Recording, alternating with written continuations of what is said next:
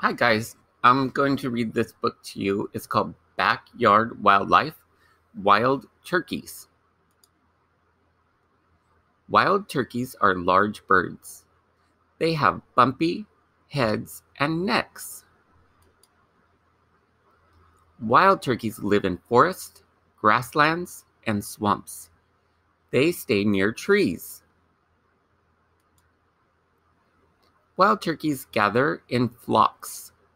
These small groups eat, sleep, and move together. The turkeys forage for food during the day. They scratch the ground for nuts, berries, and insects.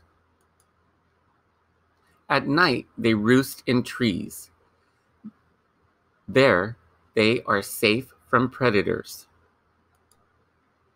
Male turkeys are called toms.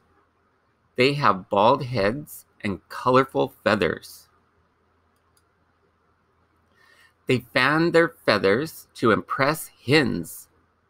Their heads and necks change color too. Then they strut. They gobble to attract more attention. Toms fly um, Toms fight one another for hens. They use sharp spurs on their legs for battle. She's mine.